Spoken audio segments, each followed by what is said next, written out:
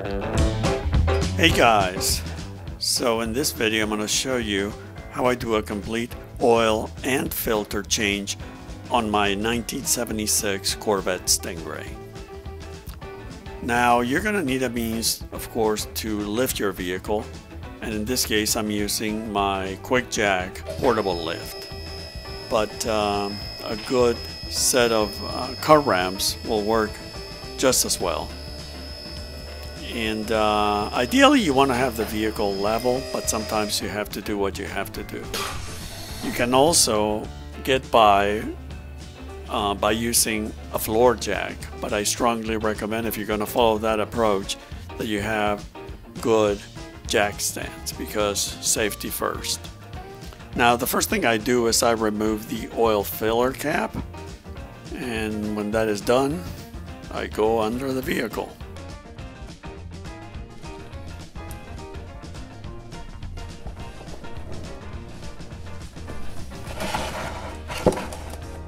Okay, so this the drain plug and the oil filter is right here.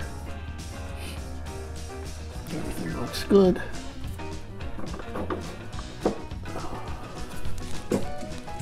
Just try to get my tools organized. I believe this one is half an inch.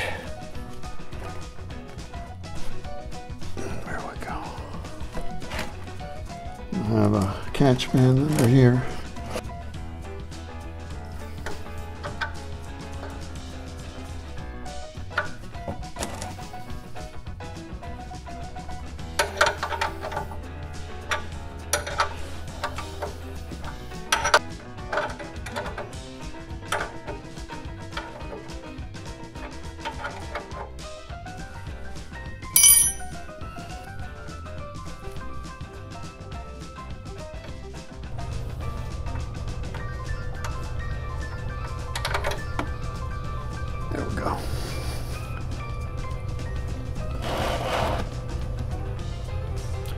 We're gonna let this drain for a couple of minutes.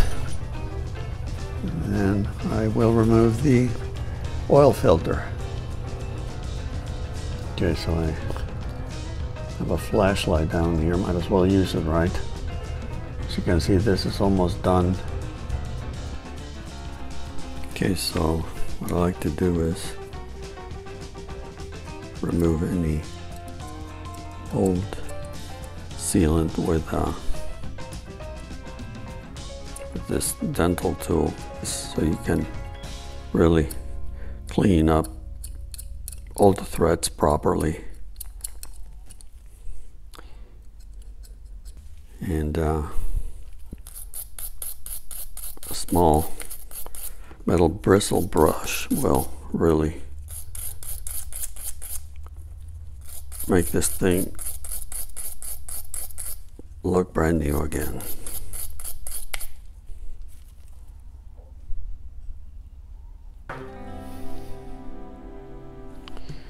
And then we can use some of this Permatex thread sealant. I like this better than using regular conventional Teflon tape. I think it I think it's better. It can be a little messy, but uh, not a big deal. That should be plenty to seal the threads. Yeah, you will have a little bit of motor oil still dripping. Not a big problem.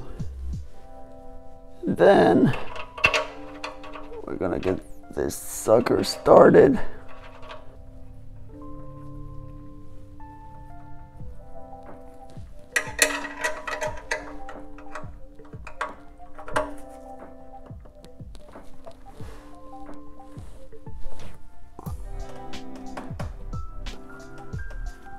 You want it, you want it snug. You don't have to overdo it.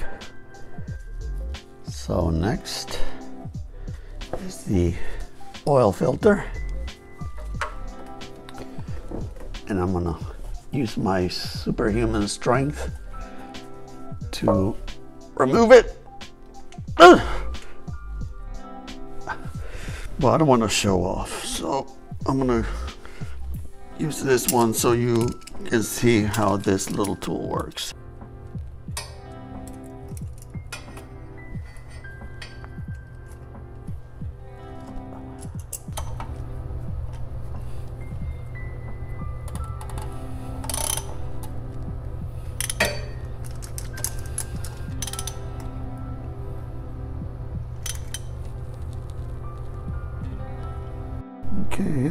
My catch thing here. Let's see, I hope this one doesn't make a big mess. Since I already drained, oh no, it's still gonna make one.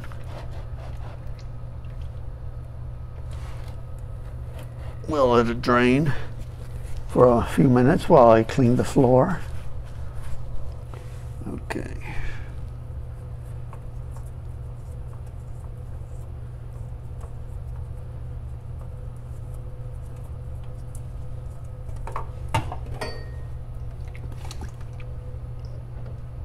Perfect. So there you have it. Get a paper towel. Clean this a little bit. It's all looking good.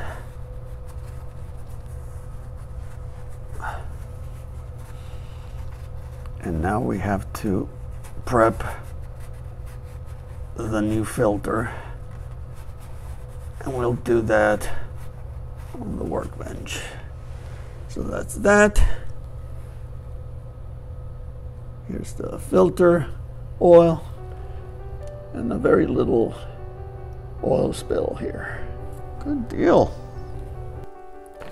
Okay, so what I like to do is prime the oil filter. Now, there are two schools of thought when it comes to this, and uh, you have to pick your poison, I guess, when it comes to that. I like to prime it a little bit, and by that I mean I add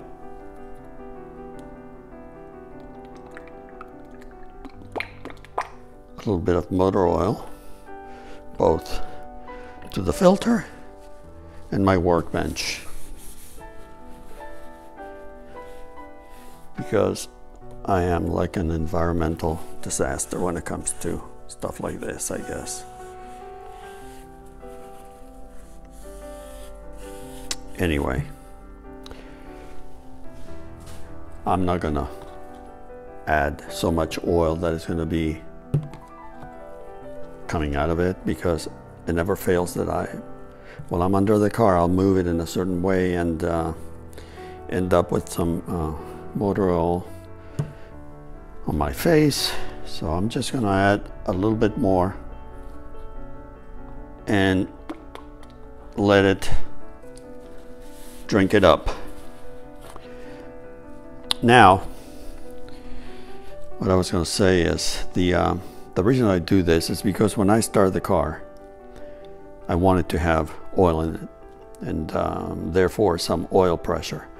Now, the other school of thought will tell you, yeah, but you're going to have dirty oil. Basically, it hasn't been filtered, and they're right. But this is clean motor oil, so I'd rather have a little bit of oil pressure, or as much as, as possible, when I start the car, instead of letting this kind of do a cycle, fill up and filter and then circulate. So again, you pick whichever works best for you. And uh, again, I like to, nowadays what I do is about halfway full and uh, you can see some of the motor oil in there. And uh, don't forget to add some to the O-ring here that loops the, uh, the seal. Okay, so let's do this. I hope without dripping oil. You want to make sure that the filter is seated properly so it threads into the into the the block there and again since we lube the seal. Now by hand I'm just going to tighten this. You don't need uh, to use the tool that I use for removing the thing. Okay so here's the old motor oil. And um, it always cracks me up when people say, Oh my God, that is so dirty. And I'll let you in a little secret. It's supposed to be dirty. Okay? The motor oil gets very hot inside the motor and uh, it has detergents. And one of its functions is to keep things clean. So, guess what? It's going to get dirty. And this is not horrible. I mean, this is not solid black or anything like that. There's no metal pieces or anything like that. So this motor oil did its job. And uh, same goes for the filter, even though it's a cheapo filter. Worked fine. As long as you're replacing these parts on a regular basis, you will be fine. Now, you have to dispose of the motor oil properly. Don't do anything stupid like going in the backyard and dumping it out there. Oh, nobody will see it. No, we don't do that. We have to be responsible do-it-yourselfers. So, what you do is you save some of the um, oil jugs. And this is perfect. It's gonna hold five quarts, maybe a shade more. You get a funnel, and you carefully put that old motor oil in the jug and take it to the auto parts store. They, uh, they take used motor oil or you take it to the recycling center. I usually do that just for the, uh, for the coolant because auto parts stores do not, do not accept old engine coolant, but they will take the uh, old used motor oil. So anyway, not trying to lecture or anything like that, but again, just a few pointers. You can do your research. I encourage you to do that and make your own decisions. That is the whole idea of DIY, right? But this is what works for me. This is how I do it. And uh, next, I'm going to add fresh motor oil, my own mixture, of course. So we'll do that next. Okay, so I got ready to Pour some fresh motor on there.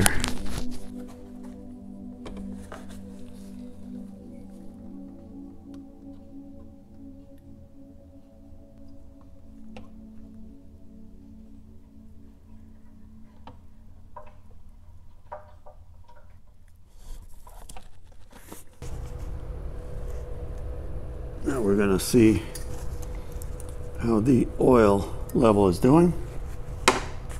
Seems to be almost to the full line, but again, I have to start the car, let it run for a few seconds, and uh, get that motor oil circulating.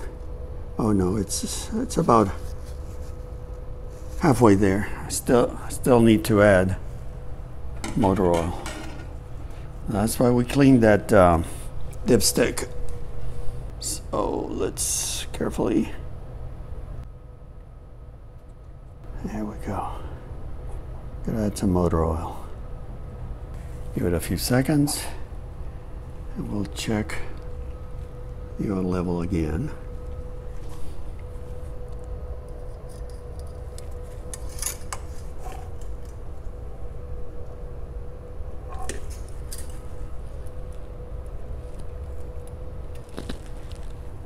Much better. And again, what I have to do is start up the car and then check it again. When it comes to oil changes, I need to have a reminder of some sort. And I found these labels, they're really inexpensive, and I'll provide a link below. And uh, what I do is I write the current date, and then I add 2,000 miles to whatever number is on the uh, on the clock, and that is my reminder as to when the next oil changes is due. And it works really well. These labels are great. They don't have any adhesive, so you can put them on the, um, you know, like I do in, inside the door or uh, the windshield, and um, they don't leave any residue when you uh, peel them off. So they're great. Anyway, I hope you found the video helpful. And uh, if you have any comments, please leave them below. Thank you so much for watching, and I'll see you next time. Take care. Bye.